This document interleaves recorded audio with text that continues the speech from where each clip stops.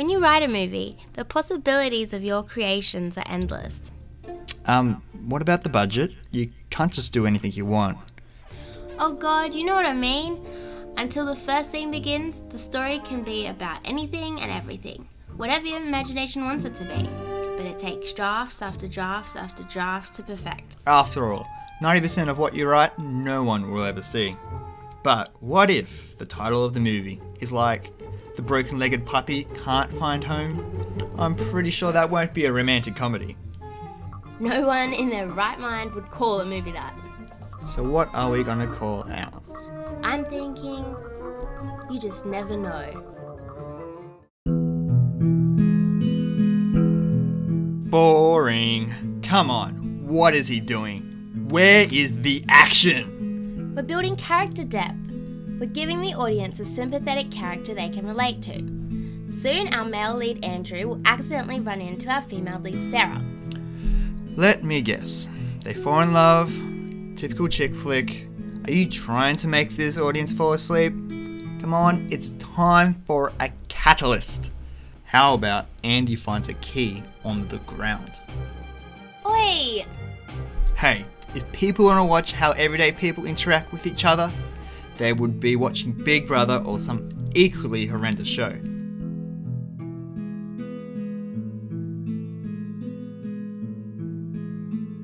We flash forward about a year. Andrew is taking Sarah on a romantic road trip where he plans on proposing.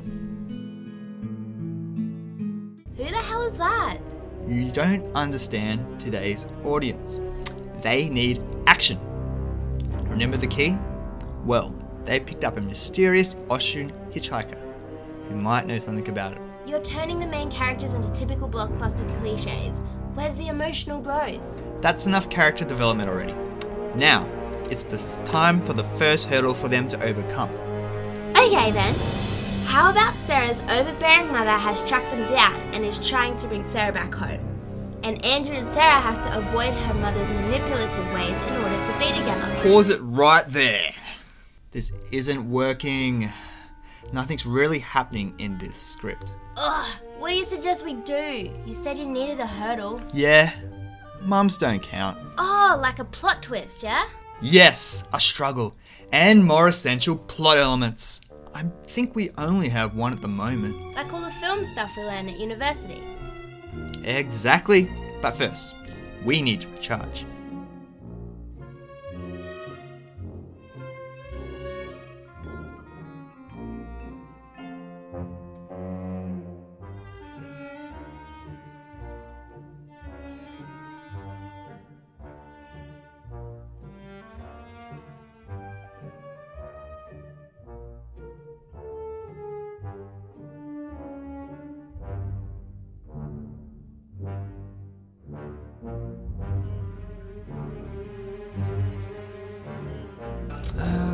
Was the movie about again? I don't know, I thought you were running the show now.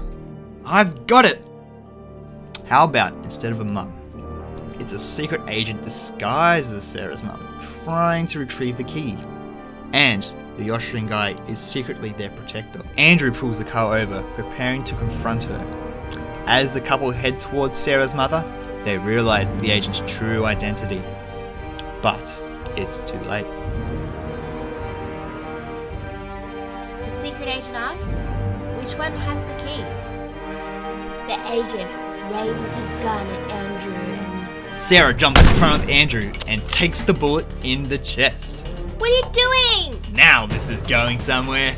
See how much more fun violence is? Yeah, but we have a problem now. Like, what are we gonna do with this? The second rule of writing is you need an engaging character who overcomes tremendous obstacles to achieve a goal. That changed their life forever. Yeah, yeah, yeah, I know. So, what's Andrew gonna do to avenge his lost love? Ah, this is where the Austrian guy comes in. He knows all about the key and enlightens Andrew that the key can open a magic elixir that can heal all wounds. So, they jump back into the car and pursue the agent. This Austrian guy kinda reminds me of someone. I know, eh?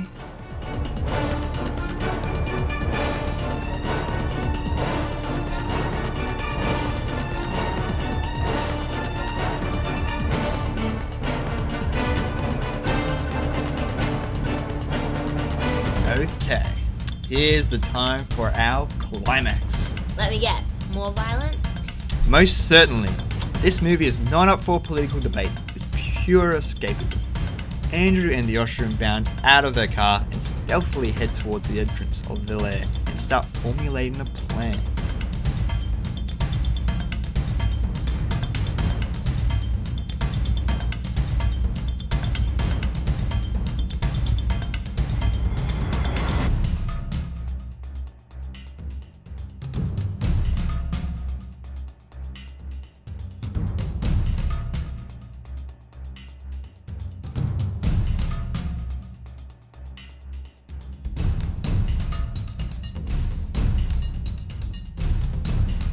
Man, we gotta kill them. I can't believe she's dead.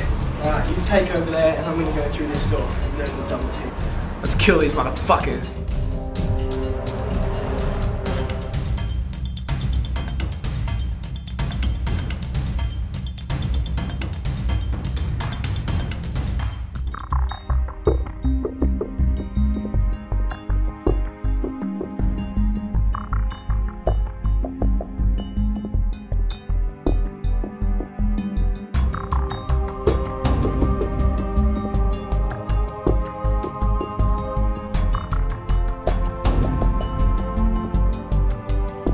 Andrew comes bursting through the door in an emphatic, heroic fashion, with Sarah draped in his arms. I just wanna save her! Get out of here before I kill you. I need that key. Sorry, Do you have a hearing problem or something? Get out, it's mine. I'll be back. Right now!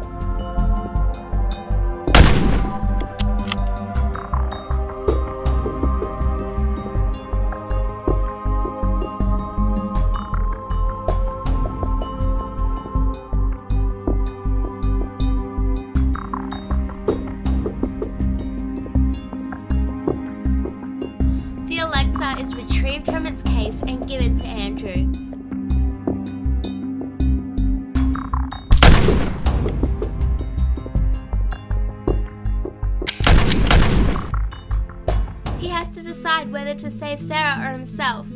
He chooses to sacrifice himself for his true love.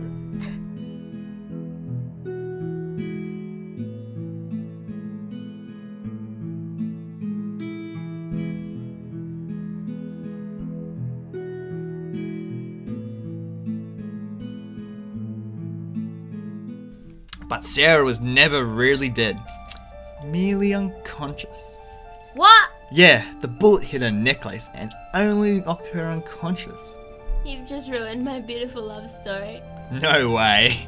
Everyone loves a tragic twist at the end. No, people like movies that make sense. You obviously learnt nothing in class. Andrew dies in Sarah's arms. Is there any silver lining to this movie at least? Um, yeah, the Austrian and Sarah fall in love and get married. Just roll the credits already.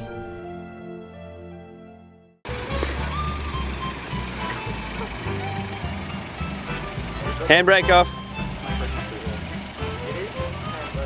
Oh, okay. I'm so scared. I need to get it now. I fucking. I'm oh. in so much pain for this fucking shot.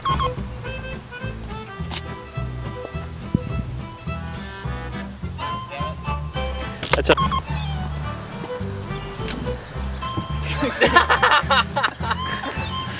Oh my god. I have a huge penis.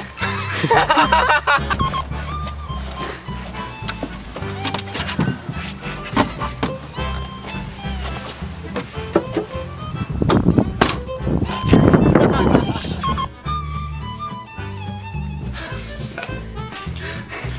dan, dan, dan, dan, dan.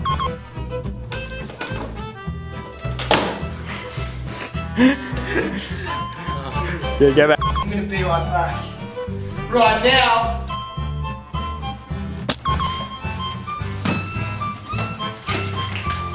Mum buy you that tie? Slap the table. Let's do it. Got it? Oh, it's good. That's funny, dude. Who it is? Fuck. Don't worry about her. She's just a hole. She is. But I need people to plug that hole.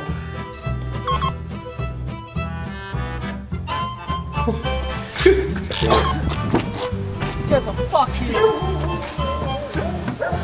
No, we'll do another shot. It's alright. Fuck, I've got a huge erection.